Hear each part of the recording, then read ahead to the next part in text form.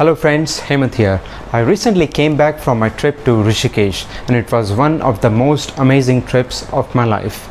Many people have been asking me, how was my trip? Is it safe to travel now? Is it safe to take driving holidays or road trips now? Let me answer all this. Yes guys, it's absolutely safe to take driving holidays during this pandemic. But how?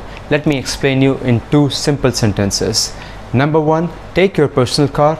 Number two, stay in excellent hygienic hotels. So these two factors is like your insurance policy to travel safe.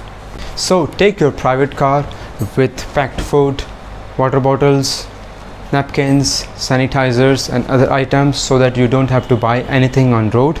If you don't have a car or don't know how to drive you can contact us. We will provide you a clean comfortable and well sanitized car with reliable driver at affordable prices. For hotel bookings please make sure you choose excellent hotels that has high standard services and facilities because that can only assure your maximum safety and comfort. You're always free to contact us for hotel choices. If you want to know more about right choice of hotels you can watch my video on five things to check before booking a hotel.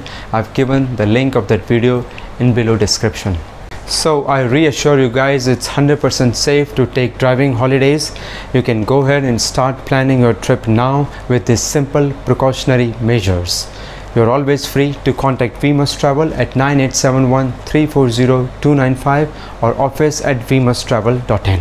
We will make sure that your travel experience is safe and wonderful. That's it guys. Thanks very much and I'll catch you in my next video.